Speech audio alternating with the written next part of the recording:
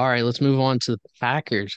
Completely different look this year, even though they still have some veterans on the team. Went eight and nine last year and didn't make the playoffs. They lost some guy named Aaron Rodgers. Um, they lost Sammy Watkins, Allen Lazard, Randall Cobb, Marcedes Lewis, Robert Tonyan, Jarran Reed, Dean Lowry, and Adrian Amos. A lot of those guys went to the Jets. Uh, some notable additions. They they drafted uh, Jayden Reed. They got Luke Luke Musgrave. They drafted Lucas Van Ness, and to throw it in there, they went and signed USFL MVP Alex McGough at quarterback.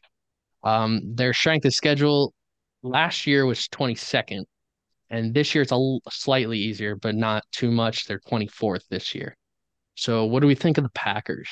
Yeah, so I just don't think the Packers are going to be very good this year with losing Rodgers and then like their whole receiving corps. And Jordan Love is just unproven, and I don't think he's as good of a quarterback as some people want to think he is. Yeah, I mean it's as of now you got to go off of what you've seen from him, right? And you haven't seen hardly anything. So I mean, I don't know why anybody would would think that you know they're going to be competitive. I mean, shoot, they're you know looking at all the teams this year, I I have them projected as as having the worst record in the league and number one pick next year. So, um, but who knows? You know, he could. You know, Jordan Love could surprise us and you know do just enough not to get that number one pick. Yeah, when Jordan Love came out, um, his I I compared his his release when he re throws the ball is the most the most similar to Aaron Rodgers that I've seen of a prospect in the last 12, 13 years that I've been looking at quarterbacks. Um, that's not saying like he throws the ball just like Aaron Rodgers. He could be a completely different decision maker than Aaron, but they both have the same release. Very that very quick release that people will just gravitate towards. Mecole Hardman I watched this morning was was just in awe on over Aaron Rodgers' quick release.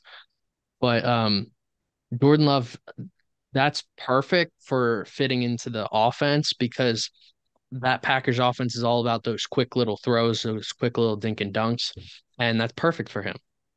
Um, they lost a lot of veterans. Uh, I know they still have like David Bakhtiari, they still have Aaron Jones, um, they still have Tim Clark, Jair, Jaire Alexander.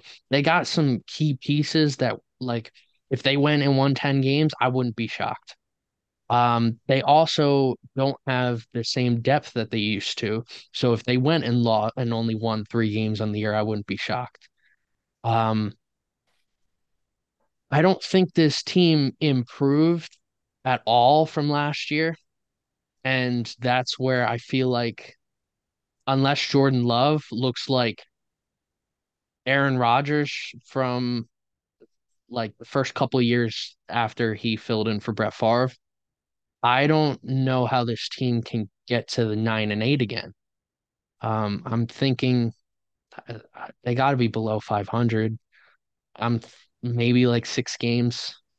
I, am gonna give them a couple just because they still have the same coaching staff. They still have some same key pieces. Braver man than me.